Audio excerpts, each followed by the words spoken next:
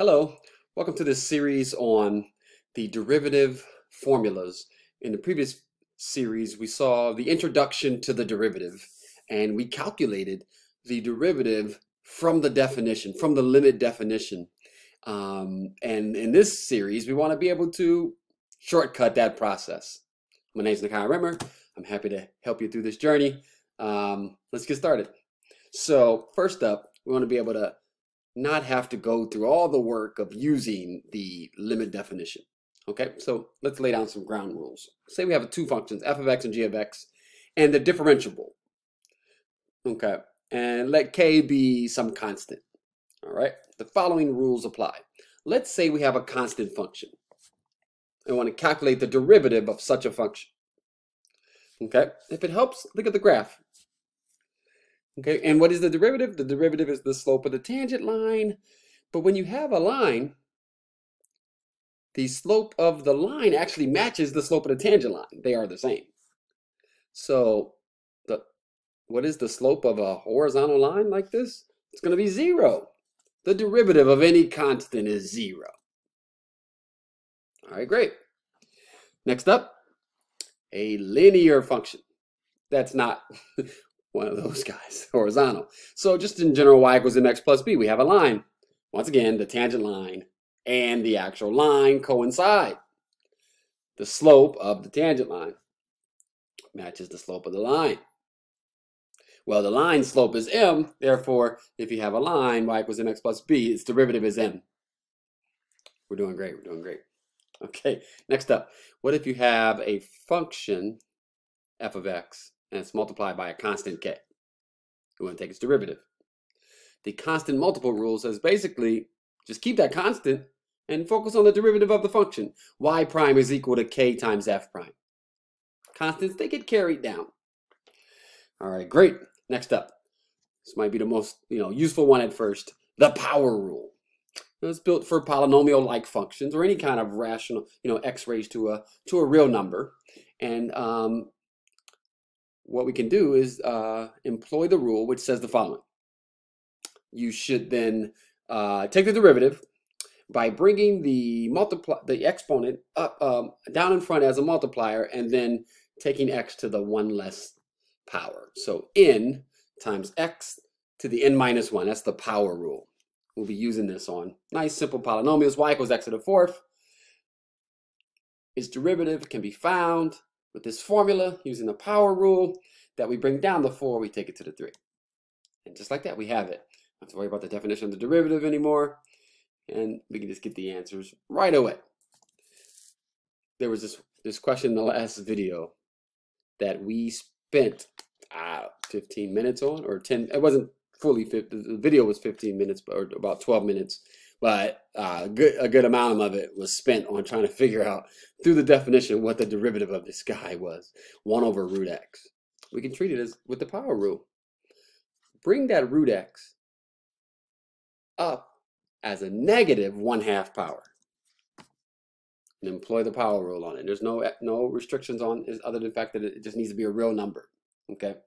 Rational irrational doesn't matter. Uh, positive negative doesn't matter. As long as it's a real number so bring down the negative half, take it to the negative 3 halves.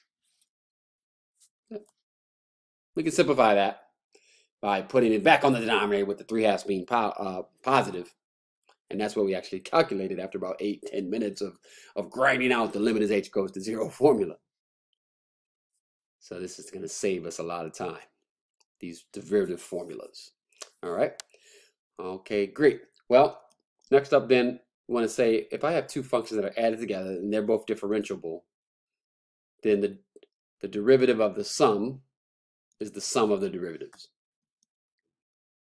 Same thing for difference. If I have two functions subtracted, the derivative of the difference is the difference of the derivatives. And you get on a roll here. You say, okay, I'm doing operation between two functions. And you're thinking, all right, what's up next? Multiplication. And you try to do the same thing. Why not? The derivative of the product should be the product of the derivatives, but we find out that it's not. A quick example using the difference and uh, difference rule here and the and the power rule. Um, so now we can add together functions and be able to take the derivative of each one individually. And so um, if your function is 4x minus 7x squared, then the 4x part has a derivative of 4. It's like the y equals mx plus b. And then the minus 7x squared part is both a constant and a power rule. It's kind of like all the rules together from the last slide. This guy's derivative would be 4. We'd carry down the minus seven, we carry down the minus 7, bring the 2 down, and take it to the 1.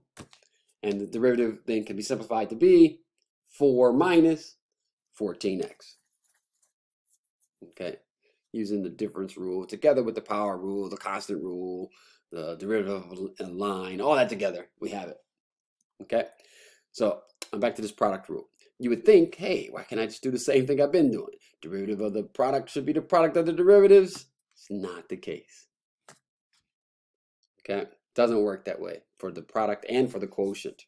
So what is it? Well, the derivative of the product is found by yes, taking the derivative of each one, but not at the same time, not simultaneous like this and multiplying them. It's found by taking the derivative of one and multiplying it by the other. Putting a plus sign and doing the reverse. Taking the derivative of the one you didn't use at first times the other. That's it. I like to call them first and second, so I got the derivative of the first times the second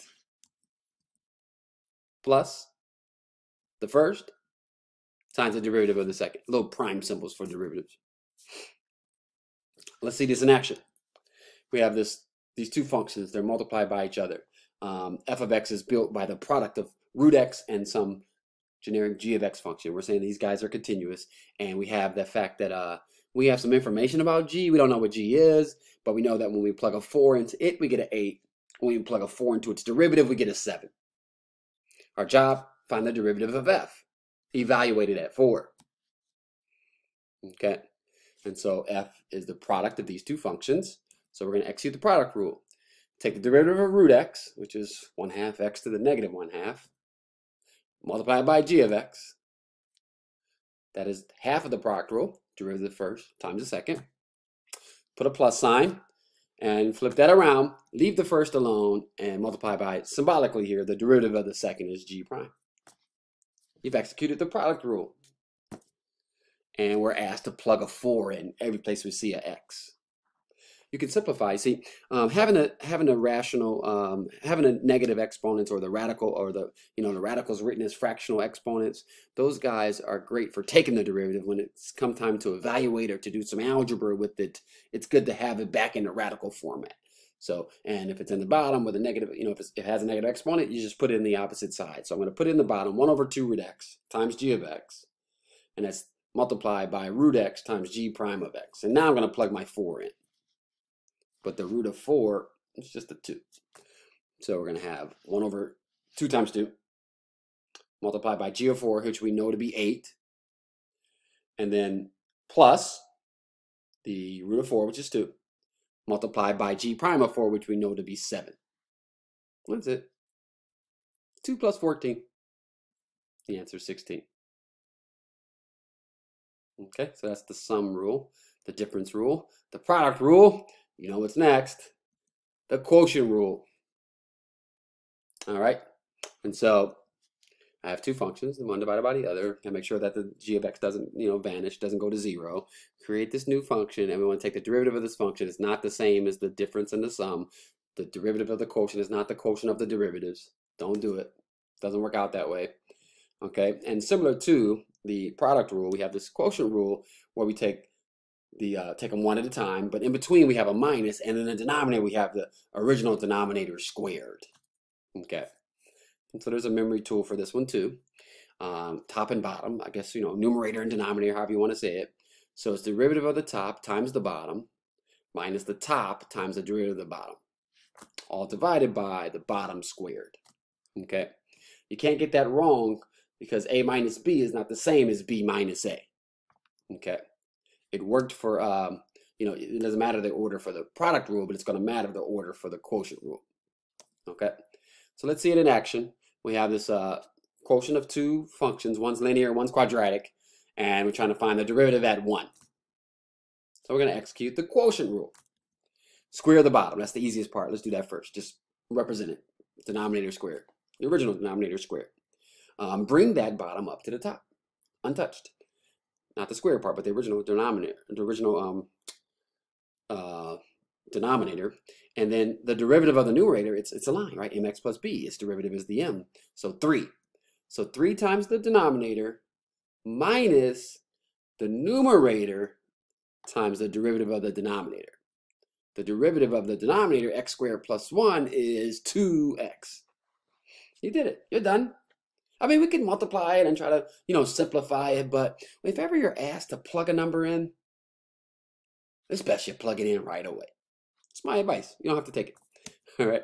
But if you do, it's really nice. So we have 3 times 2 minus 4 times 2. It's all over 2 squared. 6 minus 8 over 4. Final answer is that we get a negative 2 in the numerator, 4 in the denominator, get a negative 1 half. Okay.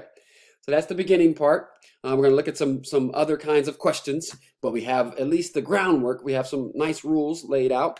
Um, more rules are to come, um, but uh, these are the, the basic rules. Let's go ahead and end this video now. It's getting a little bit long. Uh, thank you for watching. Uh, please like and subscribe and comment down below. Reach out to me if you have any questions. I'm happy to help you um, through this through this journey. And so we are looking at derivative formulas, ways to shortcut the definition. I'll see you in the next video. Take care.